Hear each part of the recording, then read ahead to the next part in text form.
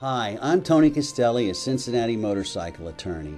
My message today is the best insurance that you can buy to protect yourself if you're in an accident caused by the fault of another. Now, we all know about liability insurance. That protects you or pays on your behalf if you injure someone else. But what if someone injures you and has very little or no insurance?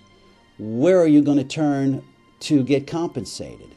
That's where underinsured, uninsured motorist coverage comes in. That's what you purchase from your own insurance company, and it pays you in the event that the person who caused your injury had very little insurance.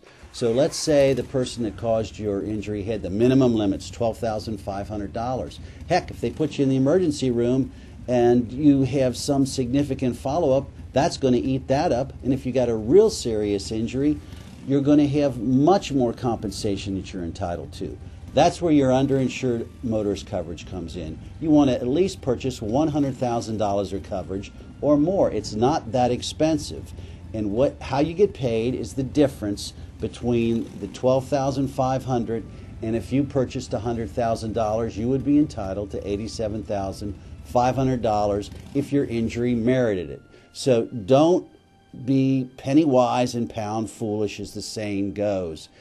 Buy an adequate amount of underinsured motorist coverage to protect you in case someone causes you an injury who has no insurance or very little insurance. Thanks a lot. Have a great day.